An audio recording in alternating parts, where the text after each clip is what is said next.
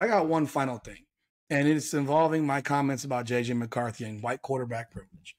And I am blown away. Well, I shouldn't be blown away because I should expect it. I look like a white person. I am a white person. Race is race. Culture is culture. My family's from Cuba. Part of my family's from Italy.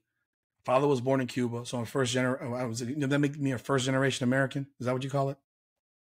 Yes. Is that correct? Okay. So I look at I look at things from a, a wider view. What the fuck is the deal with the white people, white Americans in this country, fucking so triggered by the term white privilege? You fucking have it. I have it. If I go to Kansas, do I look like a Cuban? Do I look like a fucking Irishman with a red beard? When I get pulled over by a cop, I'm a white dude.